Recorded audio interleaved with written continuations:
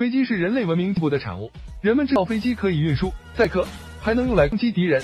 使用飞机攻击敌人的确是一个很好的选择，因此人们已研制出了防空炮来打击飞，且发展历史也不晚。比如在二战时期，日本就造了世界第一巨舰，拥有最强防空舰美名。不过让人意外的是，这一百八六门防空炮齐放后，只打下来十架飞机就被击沉。这艘战舰在当时堪称世界第一，打击能力和防御能力都很强，是世界上最大的战舰。它叫做大和号。这种舰上一般都会装备大量的高射炮，它完全全就是用来抵御战机的攻击。而日本的这艘战舰上也装备了一百八十六门防空，各种型号的都有，战斗力也强。但是如果对上美国的战机，结果又会是怎样？一次，美国的战机侵扰日本，日本立马出动了它，击落美军在天空盘旋战机。但在进行了正面炮弹交锋后，它只击落了美军的十架战机就被美军沉了。看来与美国抗衡，它的实力还不够。它的攻击力是很强，但是遇上美国先进的武器也呈现出了劣势。就因为它的技术太落后，才会被美军击沉。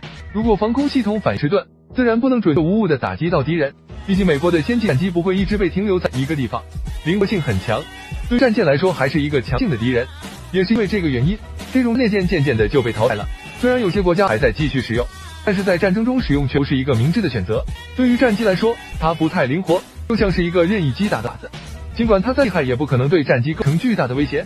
所以有了这个前车之鉴后。人们逐渐抛弃了战舰，制造出了一个更厉害的武器——航母。